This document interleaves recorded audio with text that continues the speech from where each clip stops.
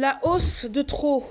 Les Ivoiriens se sont réveillés en début du mois de février avec une nouvelle augmentation du prix de l'essence super samplon. Il passe de 775 francs CFA le litre à 815 francs CFA sur la période du 1er au 28 février 2023 à Djamé, dans cette station essence. Si le prix n'est pas encore affiché sur le panneau, il est déjà appliqué à la pompe. Ce matin-là, nous sommes arrivés, effectivement, comment on appelle, euh, il y a le changement de prix qui est effectif mais par rapport à l'affichage, on a un problème avec euh, l'appareil. Donc on attend les techniciens qui vont venir, comme on appelle, euh, passer ça au bon prix.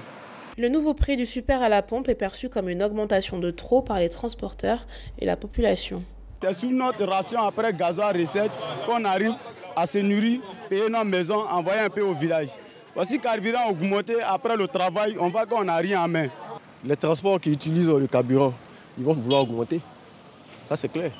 Et donc c'est l'Ivoirien lambda qui va souffrir. Ça c'est une évidence, c'est lui qui va souffrir. celui qui transporte les denrées alimentaires, lui aussi va chercher à augmenter les prix parce qu'il te dira que le carburant a augmenté. Le transport même déjà, ça a déjà augmenté.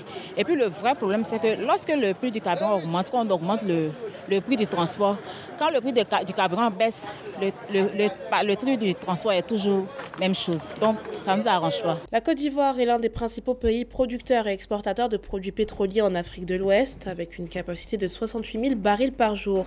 40% de la production de la société ivoirienne de raffinage est destiné à la consommation locale et le reste est exporté vers les pays voisins, dont le Ghana, le Mali et le Burkina Faso.